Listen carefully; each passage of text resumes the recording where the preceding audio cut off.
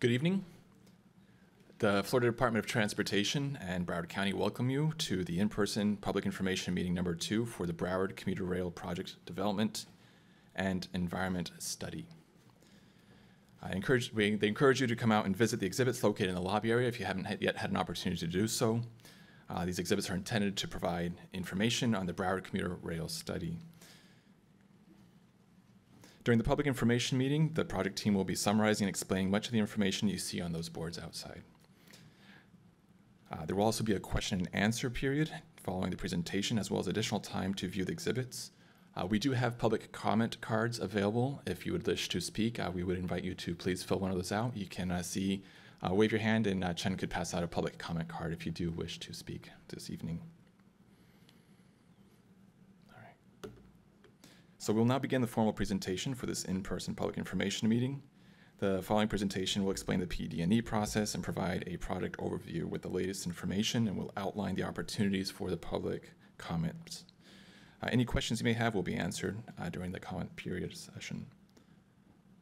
At this time, uh, we'd like to recognize any federal, state, county, or city officials who may be participating today. Are there any officials who would like to be recognized? And if so, please raise your hand.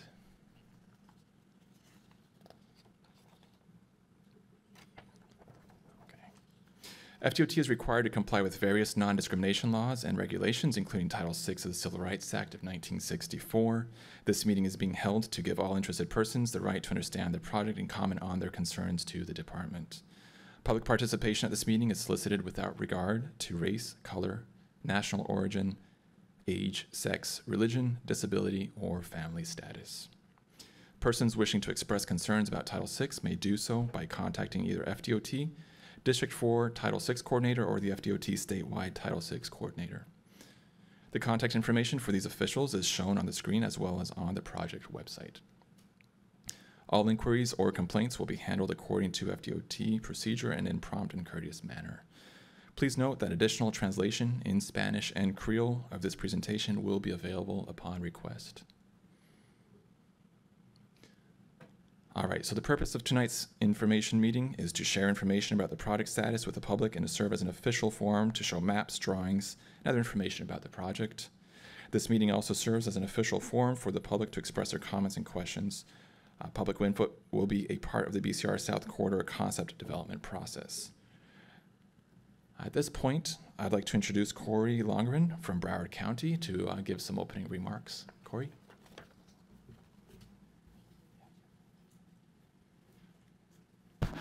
Good evening, everybody.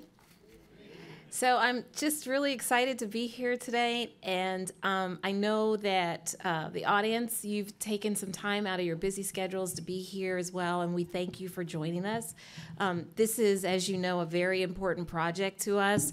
Um, we are so uh, thankful that um, we have this opportunity to bring this critical infrastructure and uh, commuter rail service to uh, Broward County, Miami Dade, and our partners up to the north in Palm Beach County. Um, this project is going to serve as the first project that we will complete as part of our PREMO program. Uh, the PREMO program is a $4.3 billion program that the uh, county uh, commissioners here in Broward County have endorsed and supported, and um, we will be bringing 200 miles of new transit service to Broward County as part of that program. So our goal here is to improve mobility in Broward County as much as we can, and also as part of this project in particular is to regionalize the service that we provide to people as an alternative to using their cars. So we're very thankful that we're able to work very closely with our colleagues in Miami-Dade County and also with our colleagues up in West Palm. But the colleague that I really want to point out and, and share with you is our colleagues in the um, Florida Department of Transportation. And if anyone's ever heard me speak, I say this constantly. I've worked, have had an opportunity to work in multiple regions around the country, and I've never seen the level of cooperation from a transit perspective with the highway or the transportation department in the state. They're always so highway focused, and we kind of get a little bit of whatever they want to give us. But this is truly an, an attempt to integrate um, our transit service, our transportation service throughout South Florida. And our Secretary of um, Transportation, um, Secretary Perdue, has stood up in front of uh, multiple audiences and said how it's important to him that we have that level of integration. Because at the end of the day, what does it do? It improves mobility for all, whether you choose to drive a car, whether you choose to get on a bus, or whether you choose to take a train. Having said that, um, I'd like to um, welcome my colleague, Steve Braun, um, to the podium, please, to say a few remarks, and then I'll come right back. Thank you very much, Corey. So, good evening. Uh, welcome, everyone. Um, as Corey mentioned, uh, you know, the communities are really at the center of what we do. Um, our involvement, really, as Corey mentioned, as the Florida Department of Transportation, uh, is really to look at those transportation options for our communities. Um, this is a major project for the region, and I really just wanted to commend everyone that's been involved in the project, the, the community stakeholders that, that are here this evening um, really to provide that feedback, understand really the importance of this project for that for the region, as far as as I mentioned, just a, a transportation option uh, for our communities. Uh, I wanted to also acknowledge our project team, teams, a lot of people, a lot of resources are going into this project, and sincerely, really the the stakeholders, the communities, the Metropolitan Planning Organization, the municipalities along the entire corridor, and of course. Um, I can only emphasize the partnership here with Broward County. Um, it's been a, a, wonderful partnership, really just trying to work through this project to, to get it to this point, which is an exciting moment really for the region on really just trying to get this project, get the feedback this evening, and then move this project into the next phases. And, and ultimately, um, this project will be there for, for all of you to, to use as, as a transportation choice. So again, sincerely, thank you for the opportunity and the partnership with Broward County. Thank you. Thank you, Steve. Uh, great introduction there. And so last time I was told I talked too much, so I'm not going to do that tonight. Um, I'm sure everyone's had a really long day and you'd rather get into the meats and, and the potatoes of the presentation rather than having me stand here and talk at everyone. However, before I sit down, I would really uh, like to do a couple things. First of all, I want to thank the City of Hollywood for being so gracious to host us here. Um, this is a beautiful facility, and we're so lucky to be in such a wonderful room to have this conversation. And then also with me today are, are my team, and I like to um, acknowledge them. So uh, Lana is here, and Gia, you will be hearing from Gia in just a little bit. Um, and Jose is here in the back. And then Angelica Jones. Angelica, if you could stand up, please. Um, uh, my deputy general manager has um, announced his retirement, and uh, his name is uh, Tim um, Garling. Anyone here know Tim? Okay, so so Tim uh, has uh, decided to do something different, and will be leaving us sometime in January. And Angelica has been the successful successor for uh, Tim, and we're so delighted. This is her first public event where she has been the deputy general manager. And we feel very fortunate to have her on the team. So thank you. With that said, I'm sitting down. Have a great night, everybody.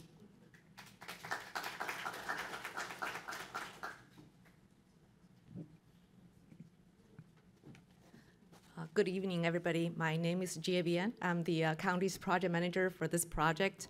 And uh, thank you all for being here tonight for this project. Um, and uh, as Corey mentioned earlier, this project is being implemented hand in hand with the Florida Department of Transportation District 4. And uh, the, the department is taking the lead on you know, getting the preliminary engineering analysis done for the project, doing the environmental analysis. Uh, you're going to hear more about this process um, from you know our project team later. And the county is taking the lead on consensus building for this project on doing the financial analysis for this project, making sure that we not only have the money to build the project, but also have the money to uh, afford operating the service in the future. Uh, we're also uh, leading the effort in grant application for this project. This project is a, is a big project um, with a significant uh, investment from all levels of county uh, government, from the federal transit administration, from the state, from uh, local governments, and we are um, trying to develop this project um, to attract strong ridership so that we can support the level, uh, the level of investment that we're seeking. So uh, with that said, I'm going to pass this on to Phil Schwab. He's the FDOT project manager. And uh, thank you all.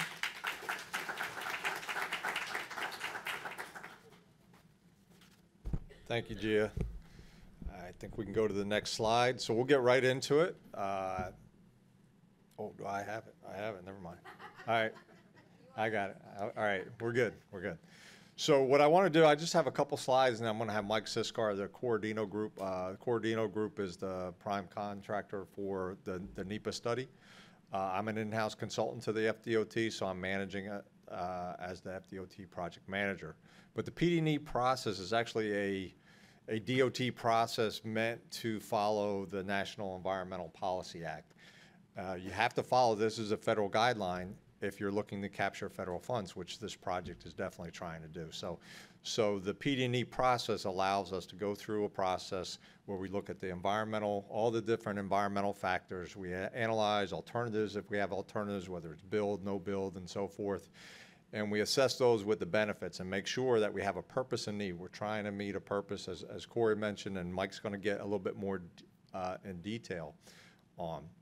So it's early in the process, meaning early in the overall riding a train process, but it's the, the first major step that you have to get through where you can secure the funding so you can move forward in the design and construction. So hopefully the next, you know, when you look at the planning and the PD&E, hopefully the design and construction can move much quicker than we have just to get to this point.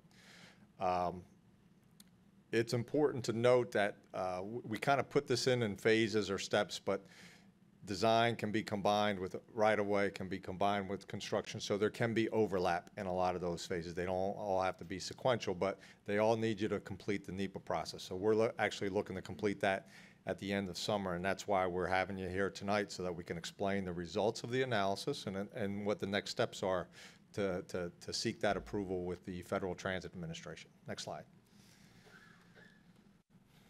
All right. So we've been practicing without this, and now I have this. All right. All right. So the history, um, and I know you can't read it from here. I can't read it from here, but there's a long history. The point of this slide is to let you know that these planning studies that have taken place really looked at the 85 miles. And Corey mentioned Palm Beach County, Miami-Dade County, and Broward County. Well, we need to do these planning slides, planning studies in order to get to a point and have the counties get money or have monies available that you can move into the environmental study phase to seek environmental approvals and ultimately federal funding. So we're at that stage. Miami-Dade moved forward with a study a couple years ahead of Broward County they've actually gotten their environmental approvals and now they're looking to try and get into the engineering phase of that project. So they're moving along nicely. Uh, Broward is a little bit behind, but since, and you'll hear it later today, we're a small starts project, so it's a little simpler process. So it's easy uh, to catch up with the goal ultimately to have one service uh, serving, serving the counties. Uh, this planning study had stalled in 2014 when the counties had no monies. So since there were no monies, you could not move the project fur further ahead. Uh, ultimately, all aboard Florida, which is now Brightline, started running service on the tracks. They actually own a passenger rail easement over the entire FEC corridor. So that's something you're going to hear a little bit more about as we move forward. But they have that service, which is a different type of service than what we're talking about. Their stations are spread further apart. Uh, it's a different uh, price point uh, than, than what we would expect to have. But again, those projects are all in the, the environmental study, the Miami-Dade piece, and now the Broward piece. We're moving forward nicely, and, and what, what I'd like to do is have Mike kind of go through the details of the analysis of where we're at and the details of the project. We've got a remote here, Mike. Thanks, Phil. Thank you, Phil. Good evening. Um, next slide. Um, okay, like, like Phil and Corey mentioned, the purpose of the, um, of the Project Development Environment Study, PD&E study, is to evaluate the implementation of commuter rail service, similar to like a Tri-Rail or a Sunrail service, along the FEC rail corridor from Aventura in Miami-Dade County to a proposed station in South Fort, what we call South Fort Lauderdale, which is adjacent to the Broward Health Medical Center. It's a total of 11 and a half miles. Um, the primary needs are to increase north and south travel opportunities, accommodate existing and future. As we all know, Florida is booming and growing. A lot of folks are moving here, so we're trying to ac- accommodate the existing population and existing traffic congestion, and also the anticipated future population and traffic congestion, as well as encourage sustainable uh, land use and economic development. There are secondary needs, which include enhanced intermodal connectivity, improved transit service to high-density areas. Corey mentioned the, the county's PREMO plan. This is a, a, a key north-south component of that overall premium mobility master plan for Broward County. And then also pre- preserve and enhance uh, the environment. Um, as far as the project itself, um, we have what's called a locally preferred alternative. like I mentioned, the, the project limits are from Aventura in Miami-Dade County to Broward Health Medical Center, South Fort Lauderdale Station, about 11 and a half miles. The mode will be commuter rail transit, similar to Tri-Rail or Sunrail. Uh, as part of the project, we are re- proposing, as hopefully you had a chance to review our exhibits uh, in the lobby, uh, we're proposing three stations along the route. Uh, one station in Hollywood, right here in Hollywood, just north of Hollywood Boulevard. And I'll explain each of these stations in a little bit more detail, but Hollywood Boulevard, um, a station at the Fort Lauderdale Hollywood International Airport, and then a station again at South Fort Lauderdale adjacent to the Broward Health Medical Center. As far as the, the, the, the anticipated service, we anticipate running uh, 30-minute headways during the peak periods, AM and PM peak periods, and then 60-minute headways during off-peak periods and on weekends. Um, in addition, in order to run the trains, we do need a vehicle maintenance facility, and the plan is to use an existing uh, uh, rail yard that's in Hialeah, is referred to actually the Hialeah Maintenance, Hi- Hialeah Yards, a rail maintenance facility that the department owns, and there are several uh, operators that use the yard, and the plan is to modify that yard to accommodate the commuter rail trains. Uh, And then this project, obviously, has been coordinated very closely with FECR, FTA, and uh, Brightline, and you'll hear more as we move through the presentation. But uh, commuter rail offers many benefits. Uh, We've listed some of the benefits here. First, it spurs economic and residential growth, which leads to an increased uh, invest- business investment and an increase in the tax base.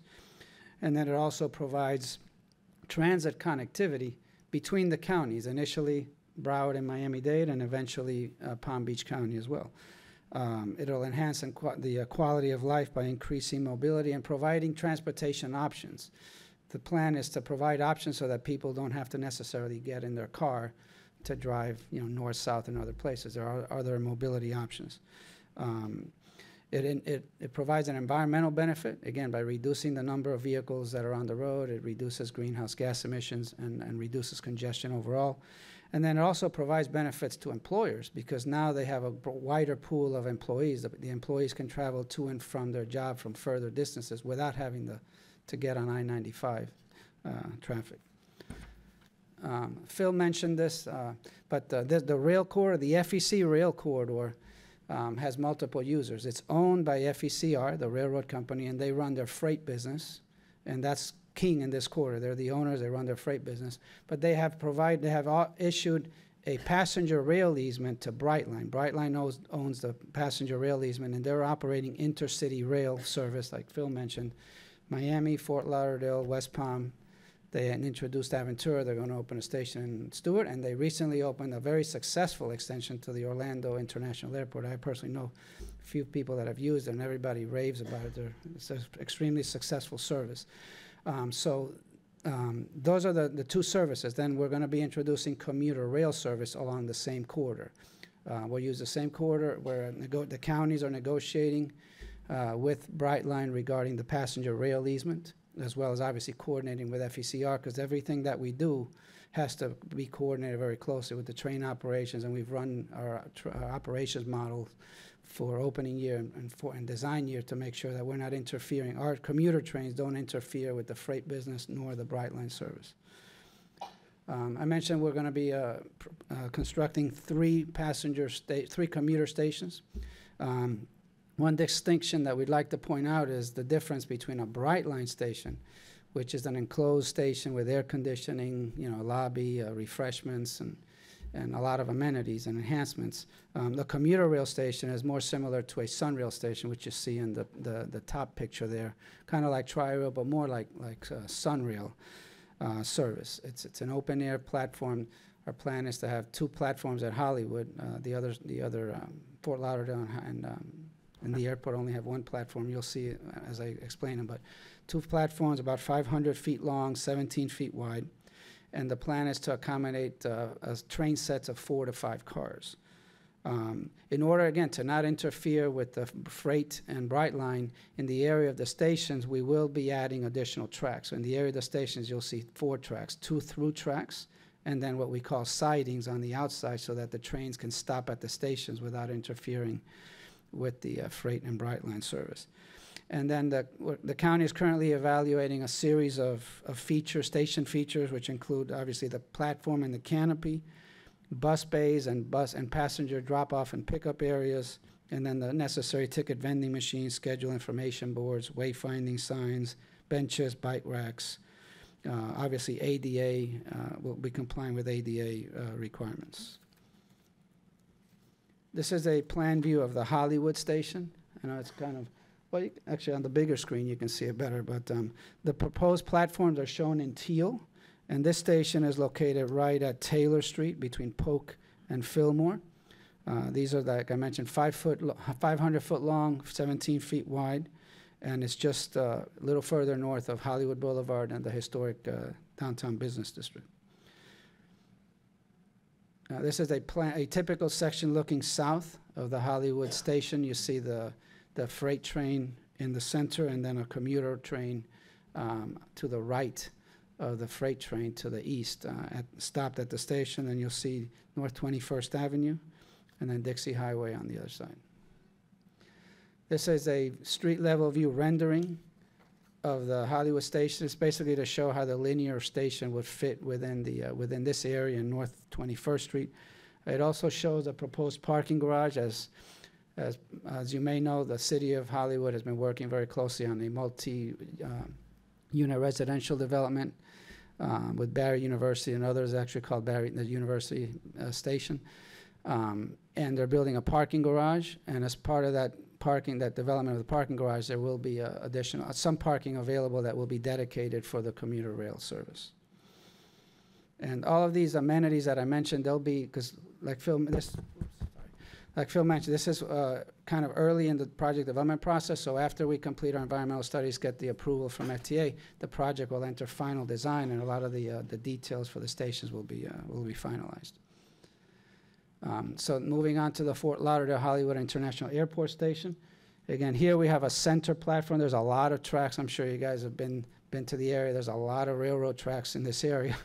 Um, It's actually a FEC uh, storage yard to some extent. So we're, we're introducing uh, the, pro- the commuter rail station in the center there um, between the perimeter road and then the US one uh, ramps and between the terminal drive entrance and exit ramps.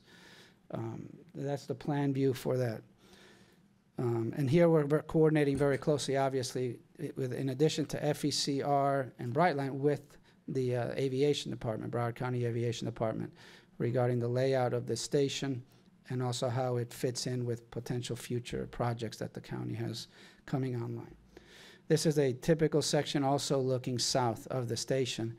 And one thing I'd like to point out here is, as you see, this station does have, as part of our base cost, a pedestrian uh, crossing. And it's for, in order to get uh, uh, passengers from the buses and the bus drop-off areas on Perimeter Road on the right side of the screen, take elevator or escalator over the tracks to the center platform where they can access the, um, the commuter trains.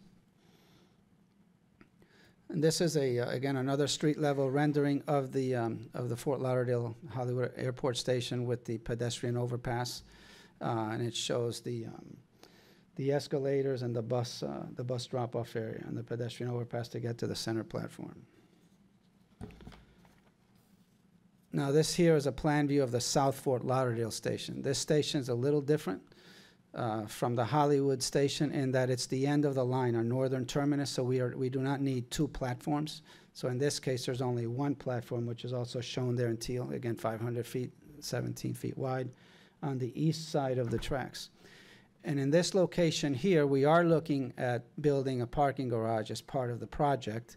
And we're considering two alternative sites, which are shown there in yellow and in purple. In order to build a garage, there would be, it would be required to acquire uh, private property. It's the only area in the entire project, because the whole rest of the project would be built either within the FEC Railroad itself or FEC and public rights-of-way, like 21st Avenue or Dixie. In areas where there's public roads next to the railroad, we may be using some of those public rights-of-way, but no private right-of-way acquisition is, is needed throughout the, the rest of the corridor, except here at South Fort Lauderdale in, the, uh, in order to build a parking garage. So both of these sites do have a couple of businesses, so whichever site we, we select uh, would require two relocation, two business relocations. And that's being evaluated as part of the analysis, and we've, you know, it's been part of our, our public involvement process. This also is a typical section, excuse me, looking south, and it shows the, uh, the freight train, the commuter train parked at the, um, or stopped at the uh, center platform. And then you see uh, Southwest Flagler Avenue adjacent to it. Now, this here is a typical section of Southwest 16th Street, because the station will be located right at Southwest 16th Street. And uh, we are planning, in the, in the plan, in the, um, let me back up a little bit.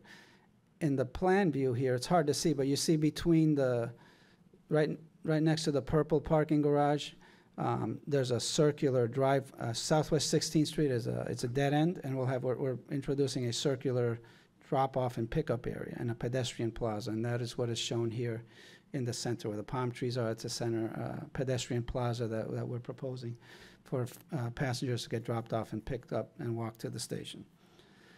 Uh, this here is a, again a street level rendering looking northeast at the at the um, at the station, and you see the palm trees Southwest 16th Street, and then you see the two parking garage options.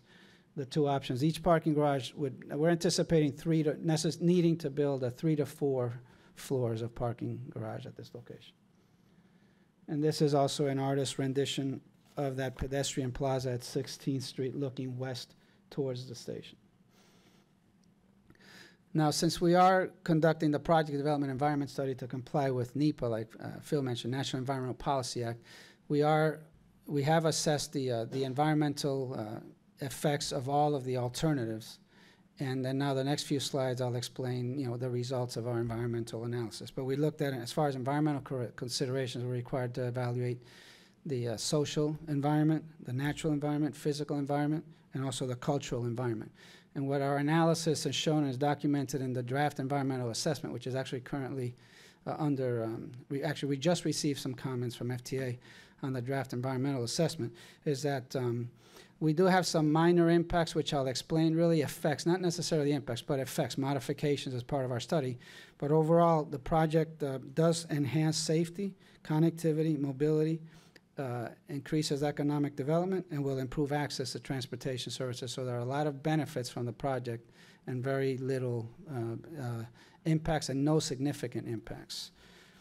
Um, so going one by one, um, the social social environment, we did pr- prepare a document called Sociocultural Effects Evaluation, which looked at social resources, economics, land use. And as you see here on the screen, the project enhances social resources, economics, uh, and mobility. The land use effects are, uh, says minor because of the parking garages at South Fort Lauderdale. We may need to do some rezoning or some minor uh, effects, so that's why we have that there.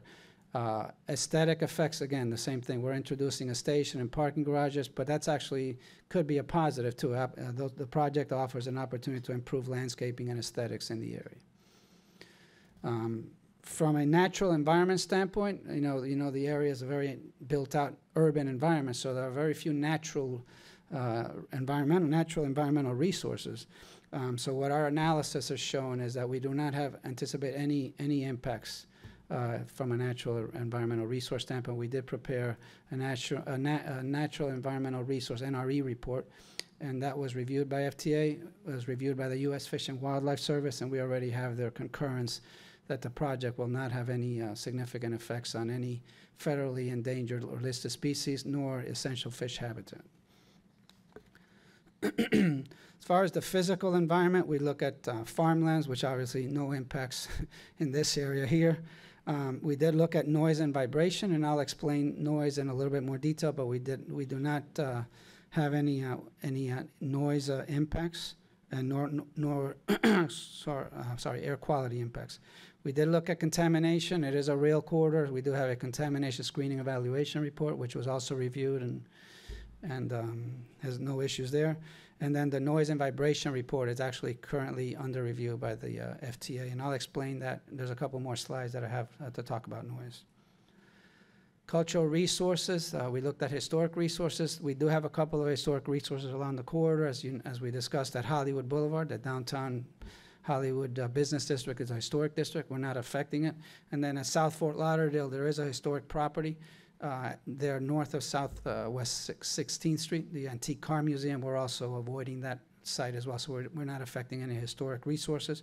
We prepared a cultural resource assessment survey, a CRAS, and that is under review by the State Historic Preservation Officer. But again, we don't anticipate any, uh, any issues. We're actually anticipating their letter of approval here in the next few days. Excuse me. So next, we'll talk about traffic. Uh, We performed two types of traffic analyses, which I'll describe, and each analysis followed a four-step process, where first we identified existing traffic analysis locations. We collected traffic data at each of those locations, and then we ran our travel demand model to estimate future traffic demand. And then we performed traffic operational analysis for both the existing year and the, uh, the future year, which is 2045. Um, So the two types of analysis that we did is we looked at east-west at-grade railroad crossings. There's 25 at-grade railroad crossings throughout the, the corridor. And then we looked at the, uh, the intersections in the area of the three proposed uh, stations. And then we did the evaluation. Thanks, Phil. Thanks, Phil. Excuse me. Um, We looked at existing conditions, a no-build future condition, as- assuming there's no commuter trains, but Brightline and Freight, and then a future condition, build condition, what we refer to, which is um, Freight, Brightline, and commuter rail. And then we looked at seven crossings. We didn't look, we didn't analyze all 25 locations. What we did is we looked at seven representative locations. It's locations that have the same number of traffic lanes, comparable traffic volumes, so that if we analyze those seven, we can get a good feel of how the rest will operate. In addition to the three station areas, and then we looked at Griffin Road, Hollywood Boulevard, and Hallandale Beach Boulevard to, to look at overlapping train events, and I'll share the results for that. So in conclusion, the results of our analysis showed that as far as total gate closure time at the crossings, we're looking at less than 90 seconds. They're kind of fast, kind of like Brightline. Brightline, as you know, runs through pretty quickly. These commuter trains will move about the same, same uh, at about the same, you know, same speed. Total of 90 seconds. That includes the advance warning where the gate's coming down, the actual train crossing the street, and then the gates coming back up. Um, we anticipate running uh, about three to five trains, additional BCR trains during the peak hour. And then our travel times, delay, and queuing, we found that there is no significant impact um, above be- um, and beyond Brightline. It'll be very similar to the existing, what's existing now with the Brightline service.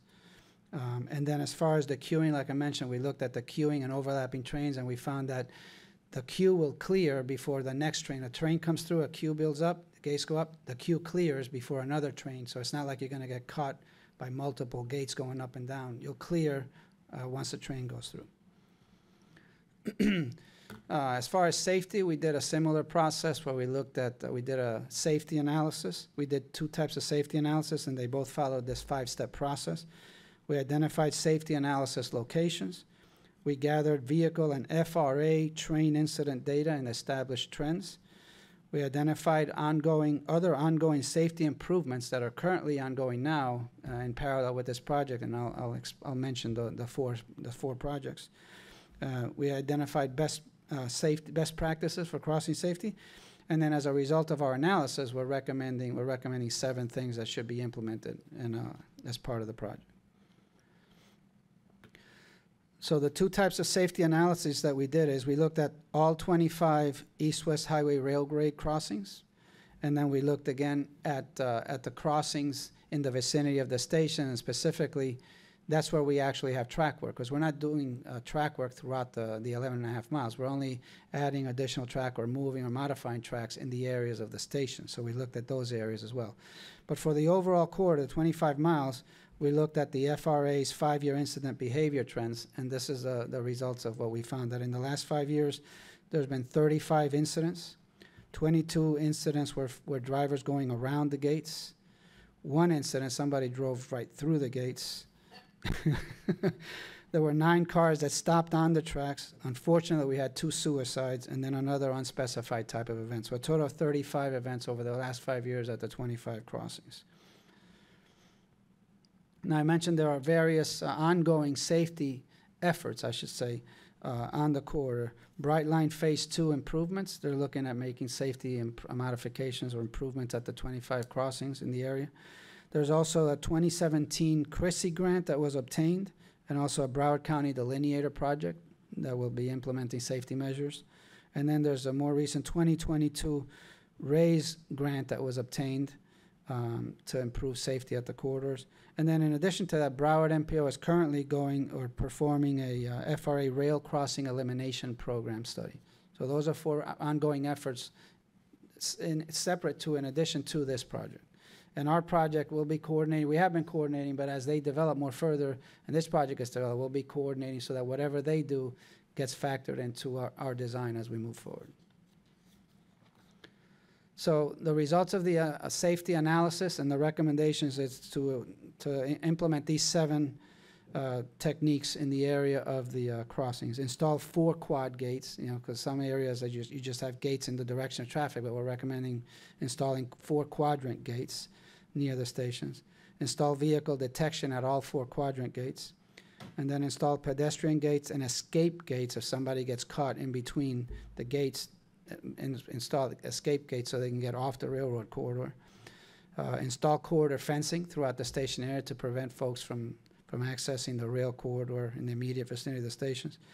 And then install second train coming and turn blank out signs that you see there in the middle of the, of the slide. Uh, Adjust signal preemption timings for traffic signals, adjust traffic signal timings. Uh, Install pre-signals and extend cross-hatching pavement markings. And then also edge line delineators and RPMs in the median and outside edges to prevent vehicles from turning onto the tracks.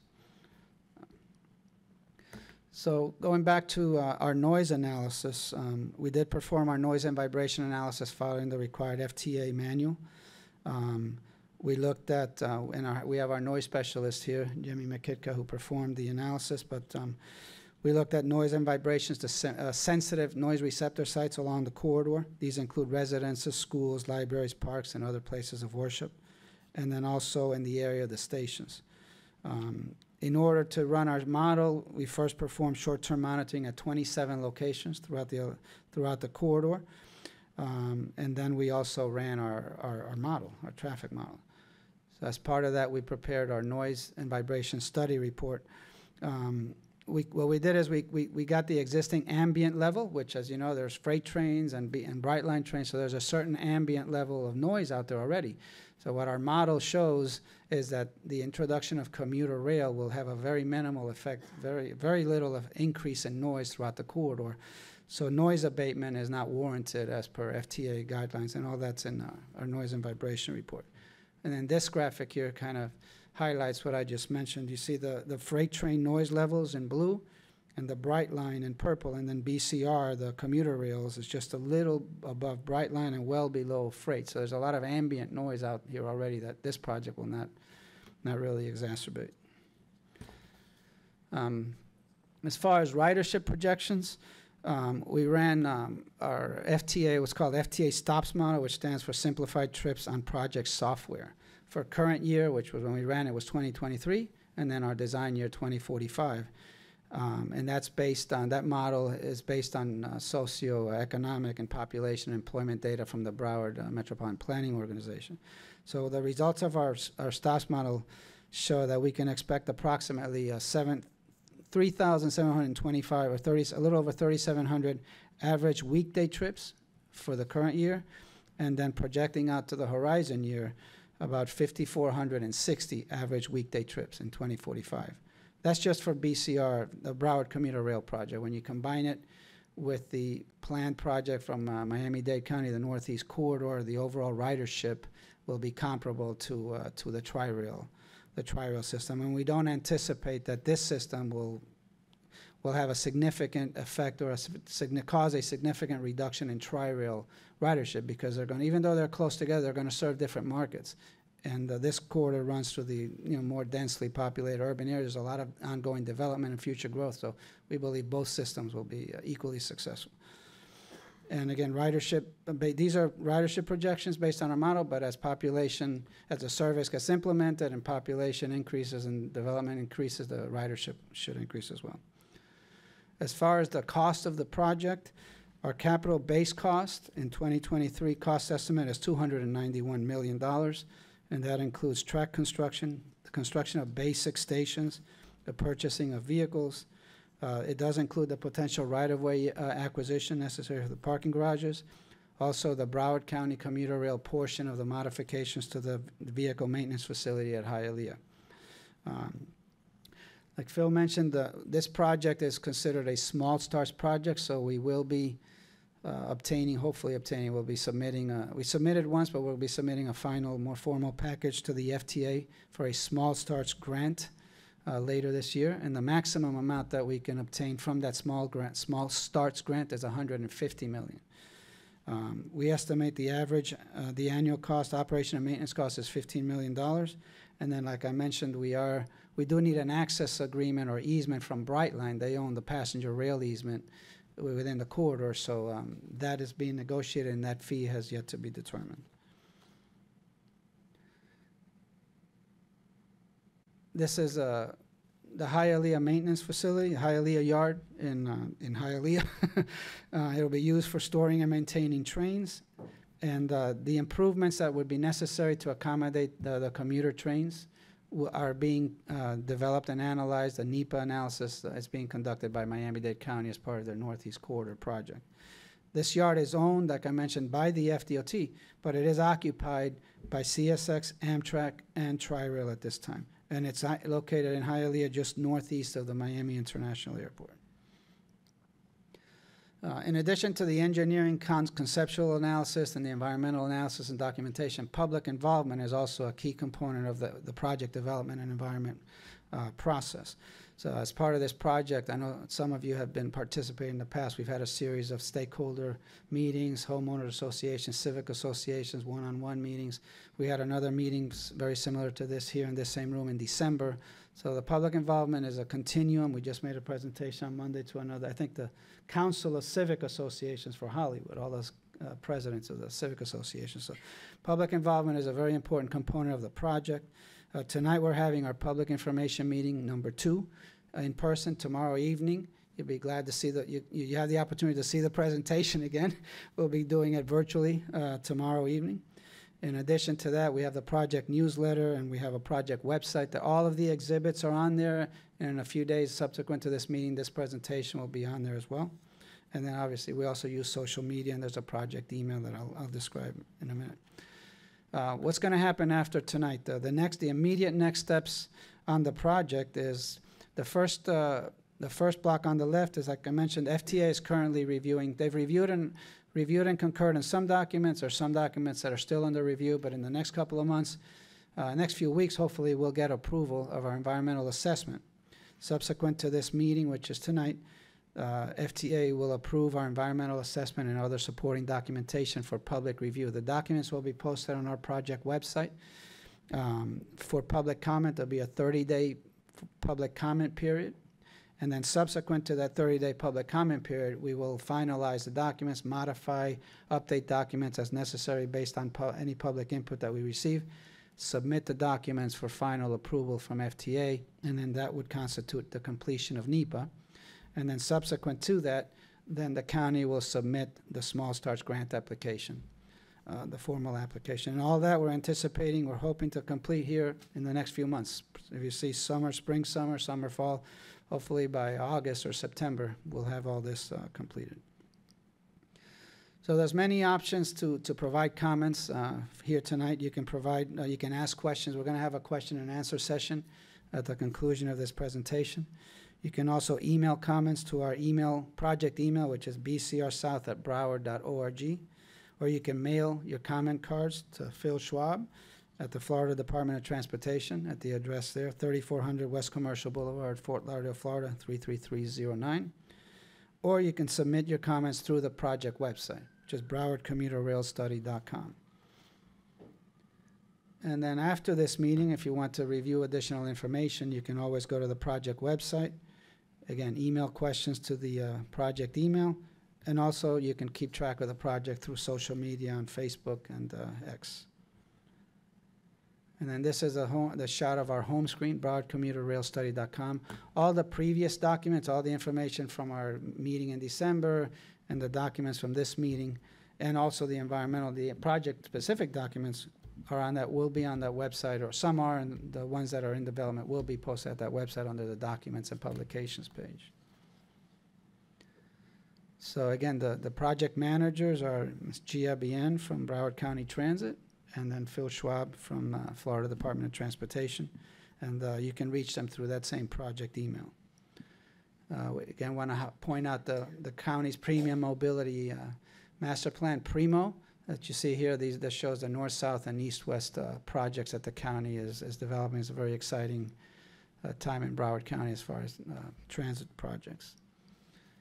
And then the department always, we always like to finish with a safety slide. Um, Be rail smart. And the Department of Transportation has Operation Stride, which stands for Statewide Traffic and Rail Initiative Using Dynamic Envelopes. So I want to remind you to be alert, be prepared, and be ready to stop. And with that, thank you for your uh, time and attention, and we'd be glad to entertain any questions.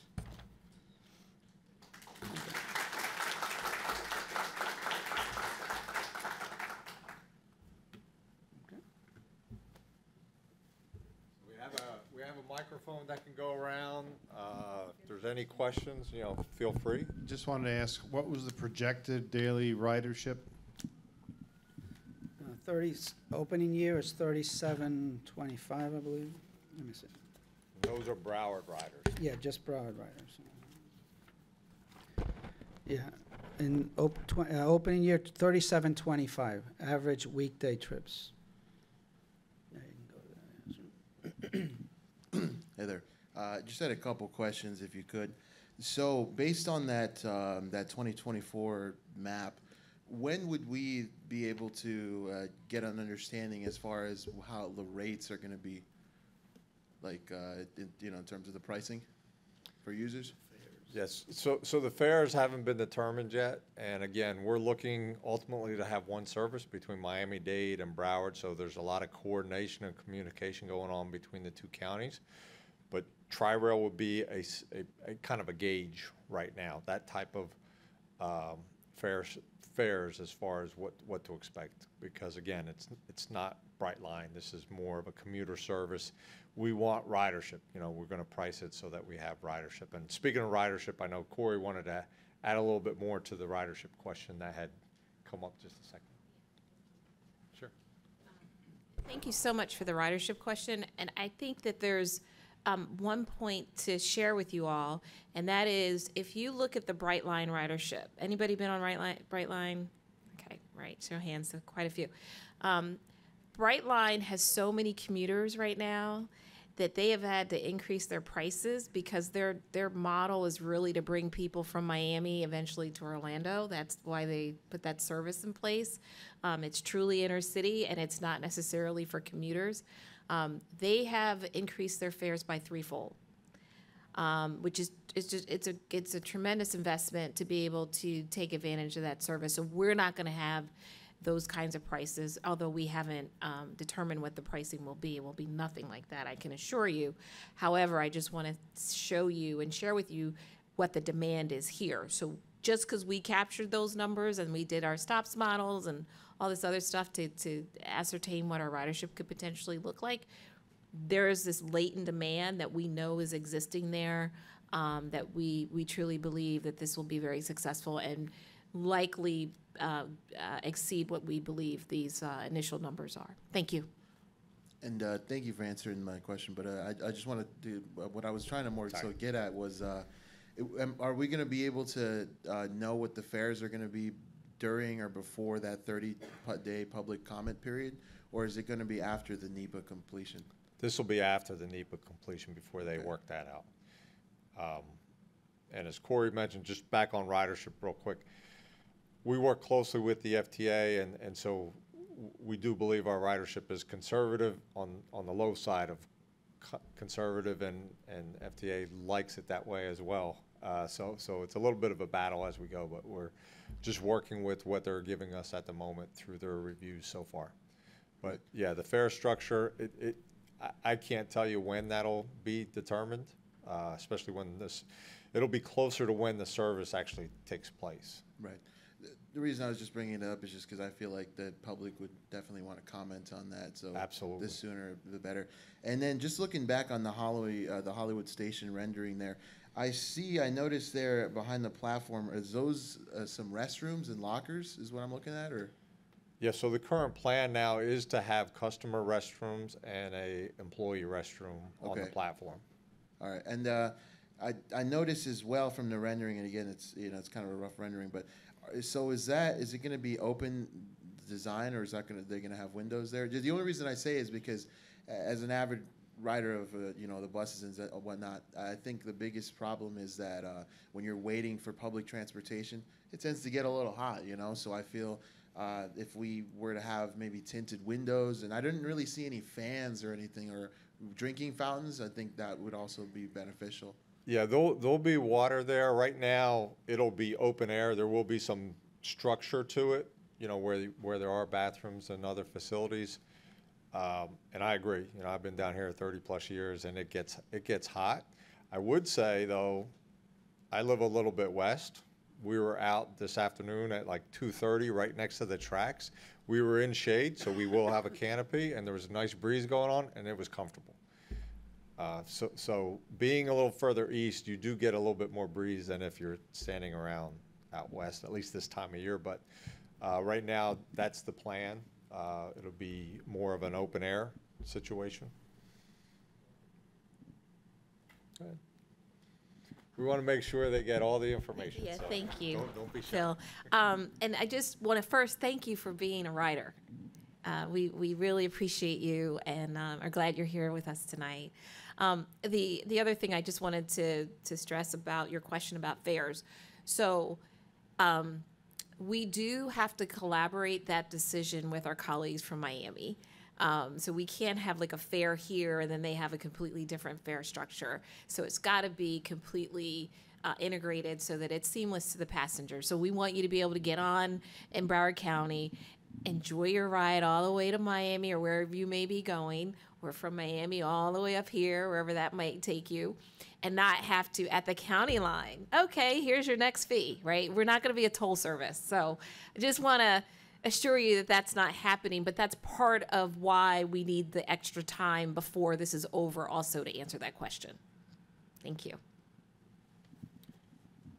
So I think my question actually might be a little bit for Corey, but also for you, Phil. Um, Raelin Storey, uh, Assistant City Manager uh, here at the City of Hollywood, and I just want to thank the entire team uh, for everything that you've done in working so closely with the city and meeting with so many groups.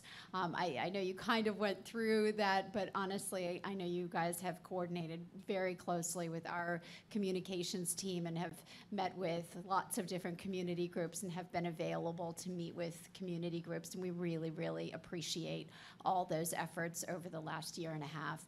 Um, when you look at the actual uh, train station and there um, is the, the, the dual uh, platforms planned in Hollywood, and I know you're looking at that pedestrian crossover and, and the safety issues, what will be sort of the, the, some of the dictating factors as to whether or not there is uh, that, that crossover mechanism, uh, you know, put in place for pedestrians?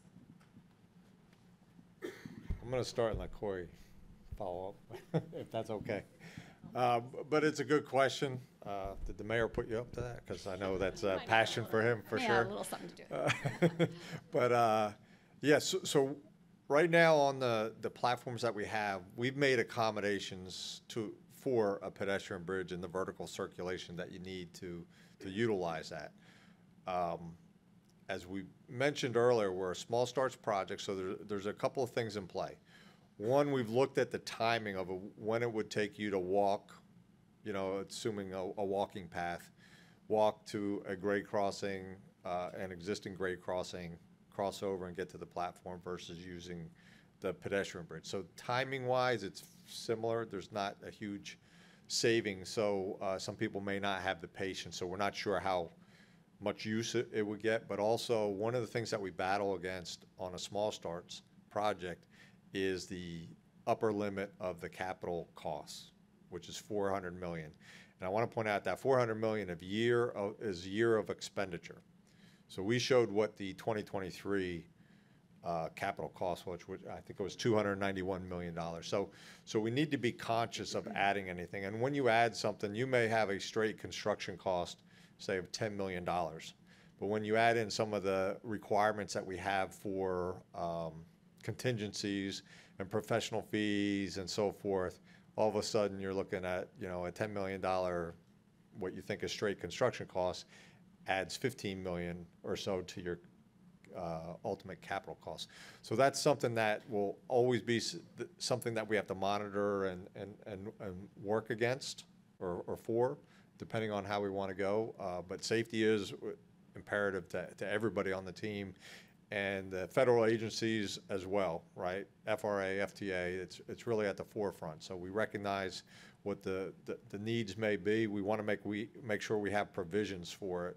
We're just not sure when or how it comes online, but we, you know, and maybe it's more personally, I would, you know, not that I'm the safest person in the world, but, uh, I would, I would probably go to what I thought was the quickest path, and if I didn't have to wait for an elevator and, and that type of stuff, I, you know, so forth. But, but that's something that the team will look, continue to look at as the project moves forward.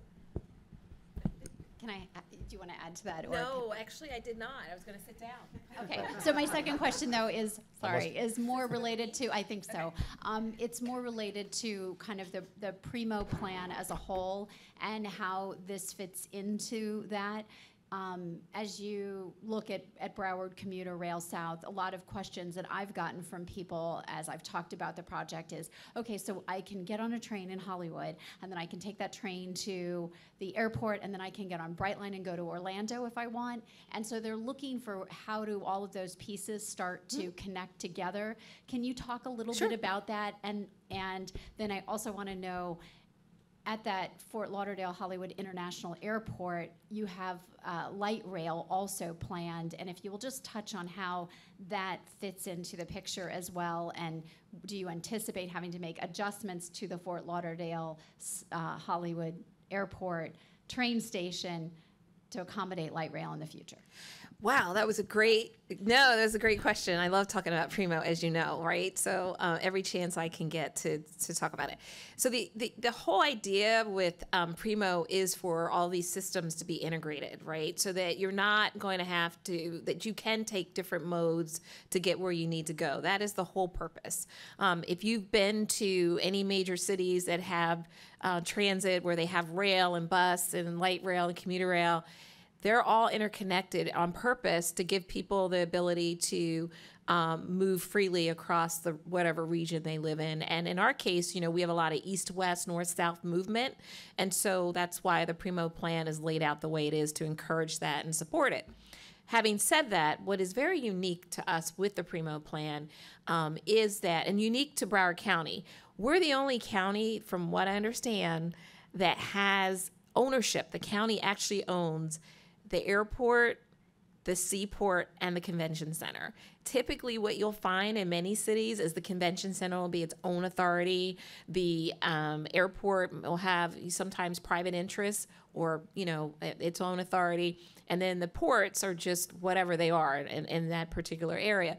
And so, not only do we own all three of those, we also own the property between all three of those.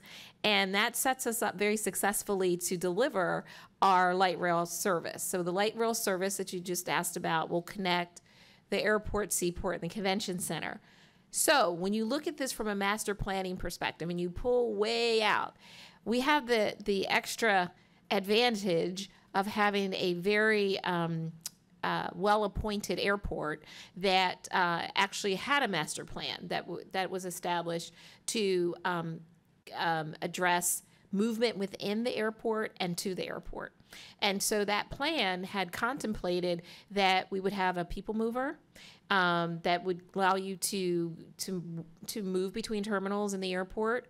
Um, it contemplated having an intermodal center, intermodal center that will allow the various types of modes of public transportation to convene in one location where people can get on and off each one of those and get on the other one or just go to the airport.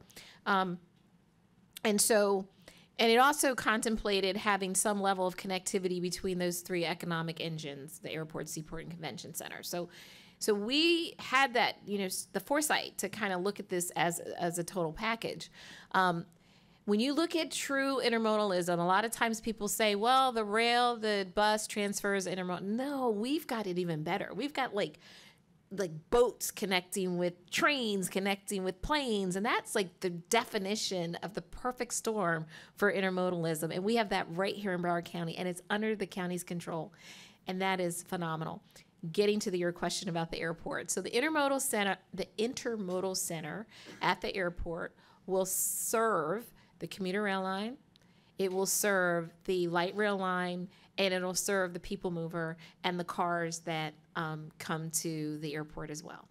So it's going to have parking. It's going to have interface points between those those modes of, of, of transit or quasi transit, the, the people mover, and there's some commercial activity on the ground floor. I believe it's going to be um, the um, rental services. But my colleague um, Mark Gale, who runs the airport, who's a, a great friend and peer of mine.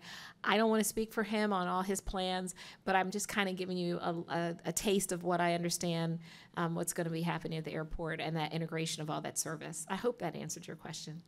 Thank you. Okay, thanks. Yeah, Raelin, I can just give you a little bit more on the, on the airport as far as the pedestrian bridge that we're proposing. When, whenever the people mover comes online, the intent is to connect that to the people mover.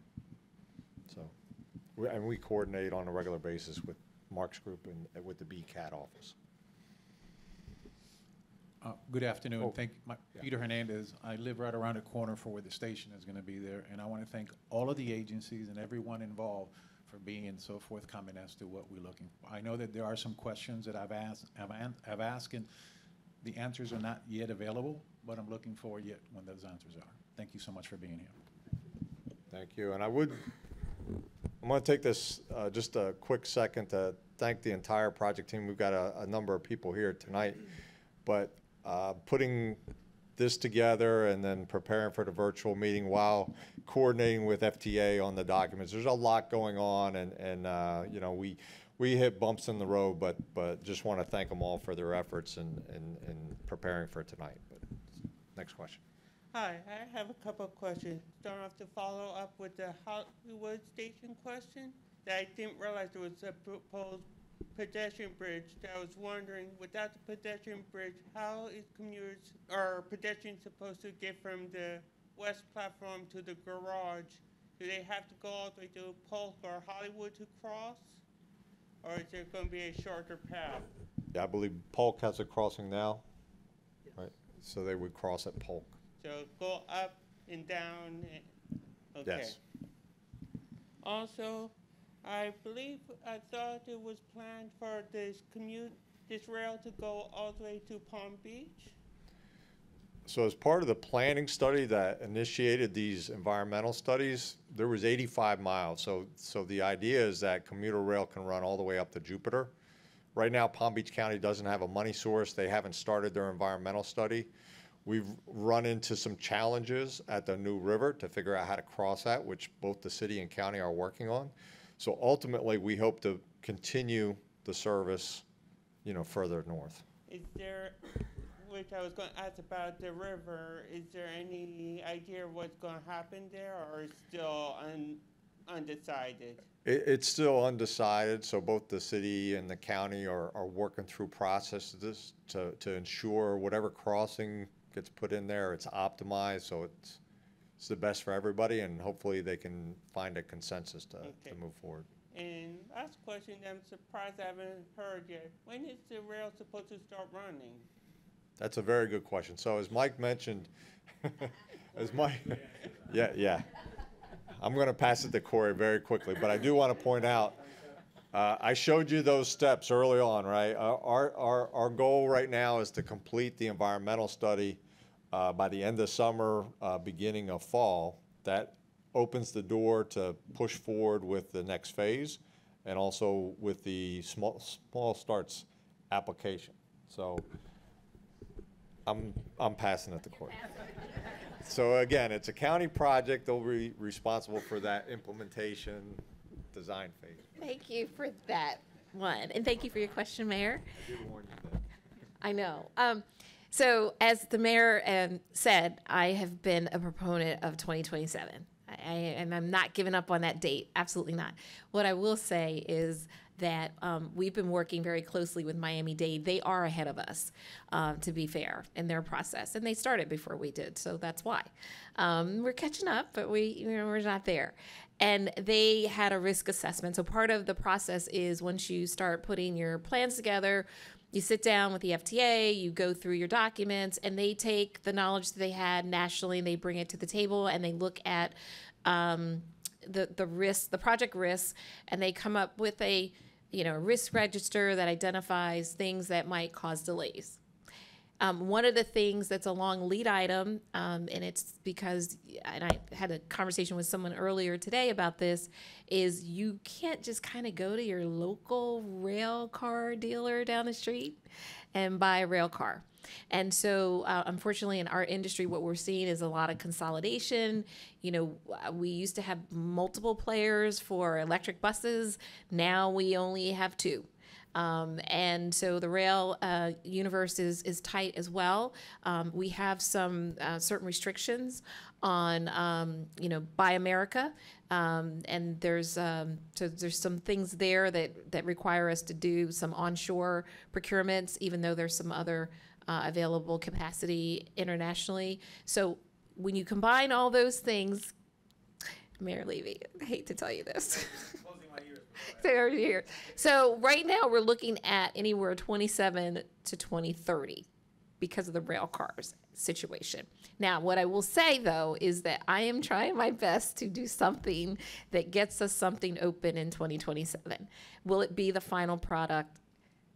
It's not going to be perfect, but it's going to be i'm trying to do something so that we can satisfy that date. And um, i know you guys are working really hard here in hollywood to get all the development up and running and i applaud you for that. Um, please continue to do that but it is coming. It is really coming. Well, it sounds like we need to place the order for the rail cars as soon as possible. And the market's tight, if the county needs to sell the first order and have this, the second order comes in, maybe that's an opportunity. yeah there's a lot of ideas out there. Um, you know you got you have to get in line and the people that pay the most get a little further ahead in the line but we have to get through this process before we can spend any money or make any commitments but i'm trying mayor i really am Yes, is there a similar presentation, has it been presented, or will it be by Dade County to take it from Aventura South? Is Tawari here? Gia can answer.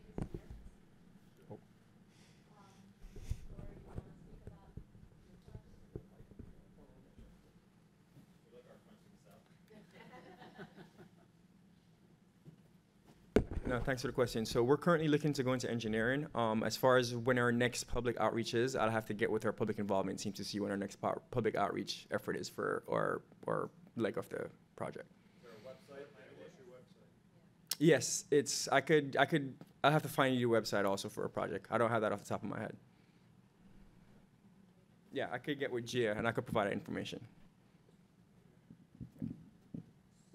yes, there's sign-in sheets. Microphone, please. Um, we'll make it a point once we get it to, um, to get that out to everybody, push it out, so you can, um, know where to go. Sorry, we don't there's sign-in sheets.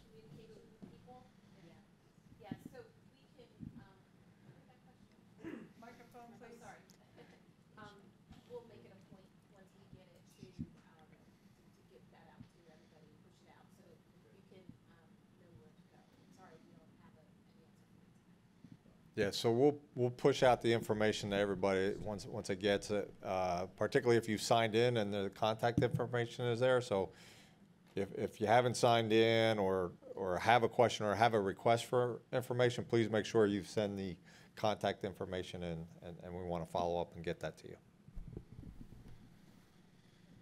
Hey there, I have uh, two two questions. Hey, hi Phil. Hey. Uh, Raymond here. Uh, it's about the Hollywood station. I talked to Jennifer, who did the en- engineering plans, and then uh, I called my friend who's on the Complete Streets Committee for Broward, and I was kind of curious about the lane reduction on 21st Avenue. Um, it does look like you eliminated a lane. I talked to Jennifer. There could possibly be a bulb out on, I believe it was Dixie Highway. Yeah, on Dixie Highway. But 21st Ave still presents itself as a three-lane road, uh, one way. And I was wondering if maybe you guys could push the county and push the Complete Streets Committee to change it down to two lanes.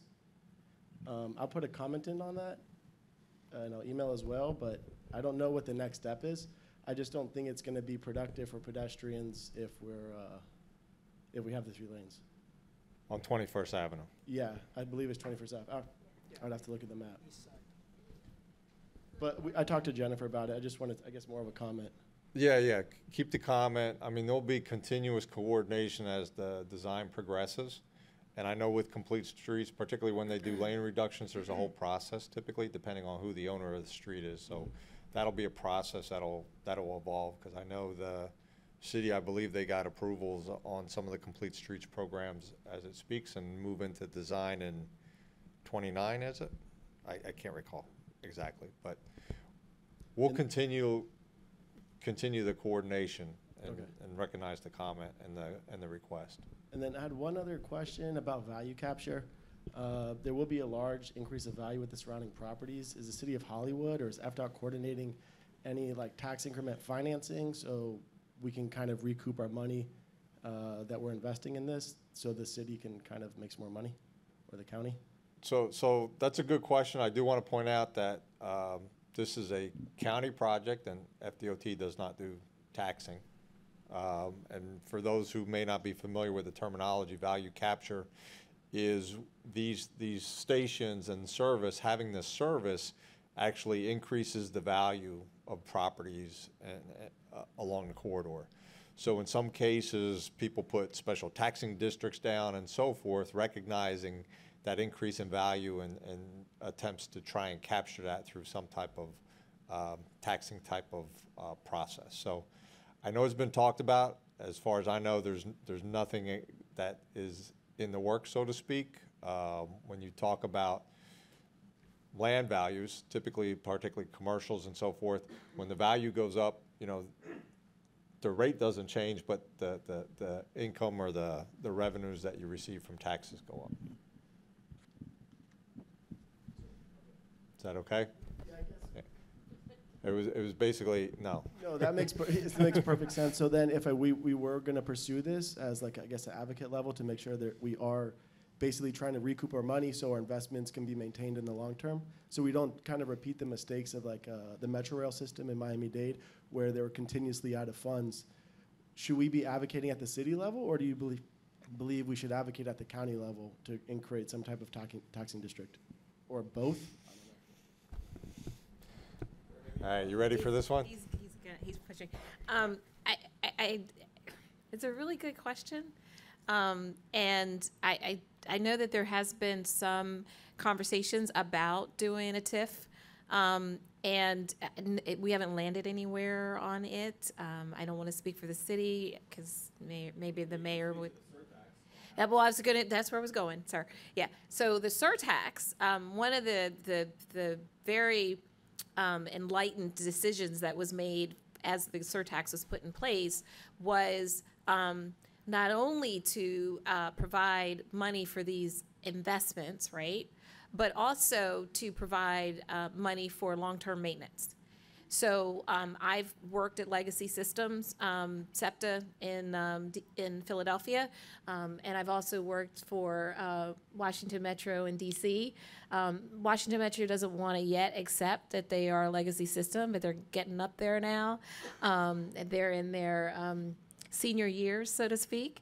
Um, but compared to like Boston and New York and Chicago, not quite as old. So, um, and anyone that's familiar with the um, the industry knows that one of the challenges that we have is state of good repair projects because a lot of times um, money was spent on um, expansion and not necessarily on, which is what DC did, to be fair, is there was a lot of money going in expansion and not so much money going into maintenance. And, it, and their, the system's beautiful and it's big and it's great.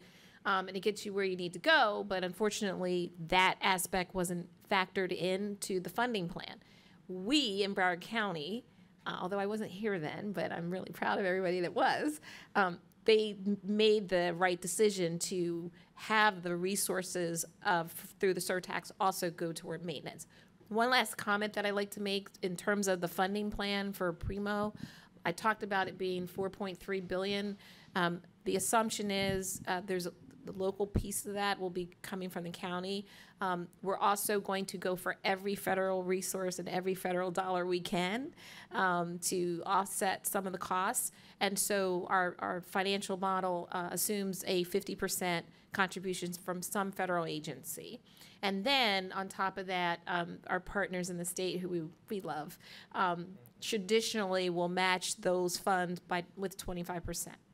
So as you can see, some of those costs, which may feel extraordinarily high, start to to, to come down um, as you, as it relates to what the local contribution will be.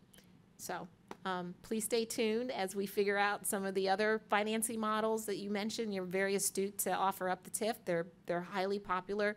They do work, um, but there's a lot of taxing decisions that have to be made in a climate that is so pro tax, right? So, right. So it's always kind of it's a balance for sure. Thank you for your question. Yeah, um, hi, I'm Eugene Bold. I work for um, County Commissioner Tim Ryan, um, who also happens to be the, the chair of SFRTA. Um, but I'm, I'm here also to support the incredible work by um, these wonderful folks in front of you. Uh, and I'm talking about county staff, I'm talking about state, I'm talking about the consultants. There's a lot of folks that really care about this project. Um, and I also want to thank the residents of Hollywood who cared enough to be here. Um, I, I count myself as a resident of Hollywood, and, and this matters. Um, this is a pivotal moment for the history of our region. And for that reason, I'm going to ask you to, um, to continue. I mean, this was a great question. But because I represent a county commissioner and the county, as Corey pointed out, the county commission fundamentally will be making some pivotal decisions. We need your feedback. Um, it's not just the federal government that's a government of, for, and by the people. We are the same exact type of government. We need you in order to make better decisions. Uh, we need you to inform our decision-making process. So for that reason, I'm going to ask not just you, anyone else who has thoughts, opinions, suggestions, how we can make this even better for all of us here. Uh, we're, we're fundamentally a big family in Broward County. So please reach out. I work for Tim Ryan, one of the county commissioners, but there's another eight. So uh, Beam Furr represents this area. Um, you know, my boss represents um, the western part of Hollywood. But please reach out and let us know what you think. Thank you so much. Thank you. Don't forget to call in tomorrow night and you can restate that, please. Uh, hey there, my name is Max. I also have two questions that I hope are going to be really quick to, to answer. The first is that we have the PREMO corridor on Hollywood Boulevard that it's going to be either a high frequency bus or a BRT, but then the station for the rail is going to be actually like a block or two north of Hollywood Boulevard. So what's that transfer like for someone who wants to come from Western Hollywood and take the train down to downtown Miami? Like, are they going to have to get out, walk two blocks like on a normal sidewalk, and then take the train? Or is there going to be like some protected pathway or some, some other system? I don't know if that project has gotten to the development design period. You know, right now, it, it would definitely be walking, whether it's covered or not. I, I think that's TBD, depending on a lot of factors. But uh, I'm not that familiar with the Hollywood, is it BRT?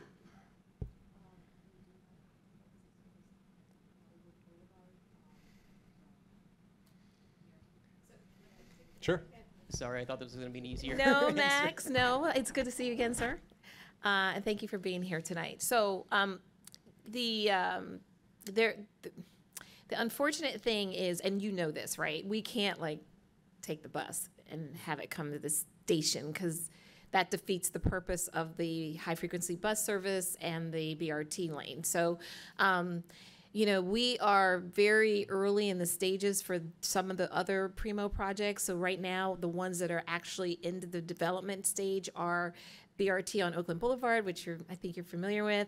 Um, this one, the commuter rail project here in um, along this this corridor that we're here talking about, and then the light rail uh, service between the airport, seaport, and convention center. So there are some of these like linkage issues that we'll need to work through, but we're just not there yet, Max. All right, that's fine. It's just something Yeah. to think about later. No, no, you're right, and thank you for your question. And as Eugene said, right, like these are that's why you're here today because we don't have all the answers.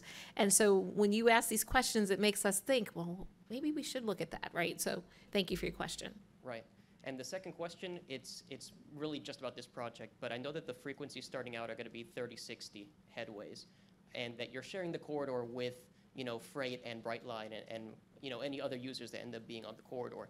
But a lot of these other regional rail systems, I'm thinking like Toronto, for example, they moved to 15-minute frequency all day, and because this rail goes through all the downtown cores of all the cities in, here in South Florida, you know, I'm expecting for there to be a lot of ridership and demand, and 30, 60 headways might not be good enough for that. So what is a theoretical maximum frequency should we need to buy more train sets and, and meet that demand?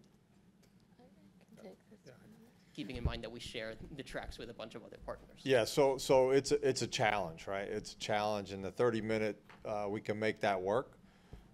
And by the time there could be that need to have higher frequency, or that the ridership is there and everything else is in place, we don't know exactly where Brightline will be, we don't know exactly where freight is. The way we're studying the corridors, we're looking at the future, we're maximizing the number of Brightline trains that can go out there, we're maximizing what the freight will be.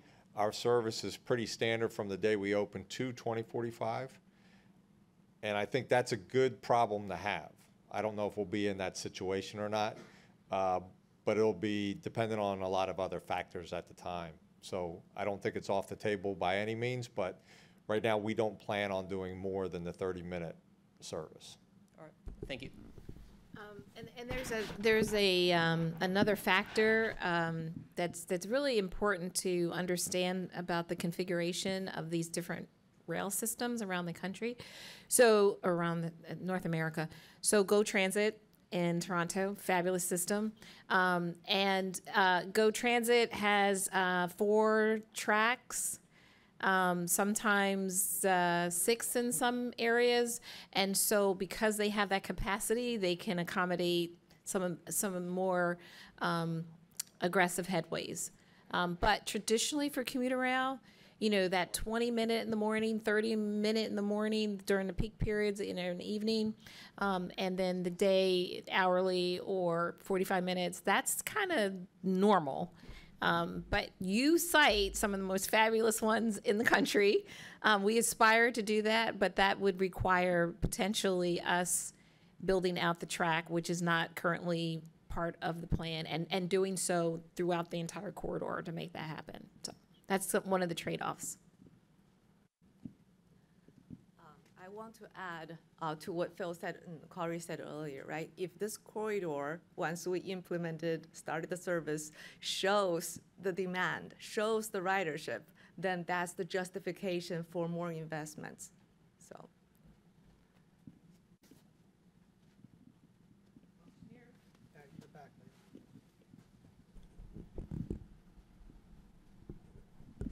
Hi, uh, Matthew McIntosh. I was just curious for, you know, part of it is like how we're gonna fund this, uh, with how much like money goes into the highway expansions and how much like traffic there's already is on the I-95. Can we put some of that funding from the I-95 into the rail system instead to expand the rail capacity and therefore, uh, kind of like get those headways that Max was talking about?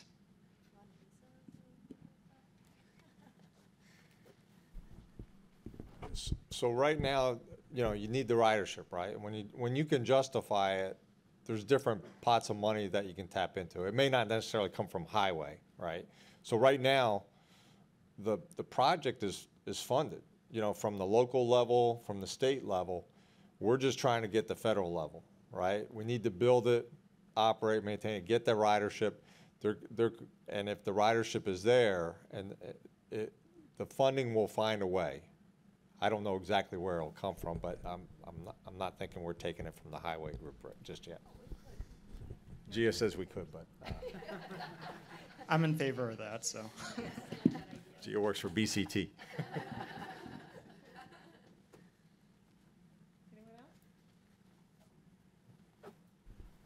Going once, going twice. You know, the Panthers are playing tonight.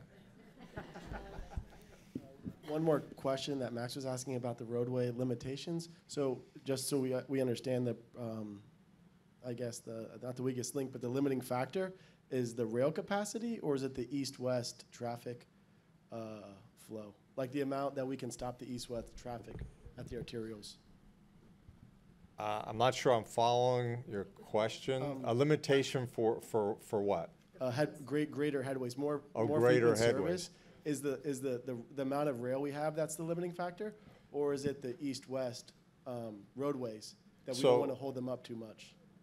Well, it- it's a combination, right? What, what can work with all the grade crossings that you have, but also, uh, when you add headways like that, you're adding a lot of vehicles. You're adding more maintenance, you're adding a lot of costs to the project, and if you can't justify that now, you know, you can't justify it now, so you wouldn't necessarily plan for that. And it's a competitive process to get the federal funds. So they're looking at the ridership and what you need and what you're trying to achieve. And then you're gonna compete against everybody else in the country to get those monies. And then, once you're in implementation, like I said, things can change. You know, the freight may back off on how many trains they're gonna do. Brightline may change how they're doing service and. And, and so there's a lot that can evolve. So again, we're not saying it's, it's off the table. Right now, it's just not warranted or justified, uh, for what we're doing. If I may very quickly add to that, um, because I'm familiar with Tri-Rail and SFRTA, it looks like folks are starting to really like rail. Um, they're experiencing now a surge ever since they're connecting downtown to Miami Central. People are taking the train. If I'm not mistaken, we're around 14 or 15,000 riders per day. And, you know, it's not always easy to get to that station. So that means people like it. Um, this is going to be far more convenient. So I'm optimistic. That's all I'm trying to say. So um, both, you know, rail corridors and our roadway network have, have, have their capacity. So for the rail corridor, right now, this corridor is double tracked, right? Um, and um, there's the, the, the ceiling on how many trains these double tracked, you know, uh, this double tracked corridor can accommodate. So once you hit that ceiling, you have limited options. You're gonna have to add another track. So um, that's significant investment. You're gonna have right away uh, issues, and um, and you know adding a track is not uh, is not significant type of investment. So.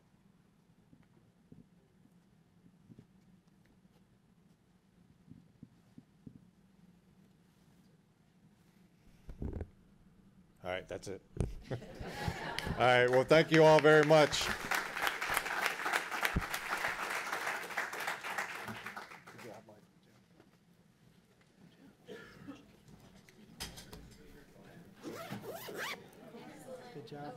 If you didn't get enough tonight, we're virtual tomorrow night, so.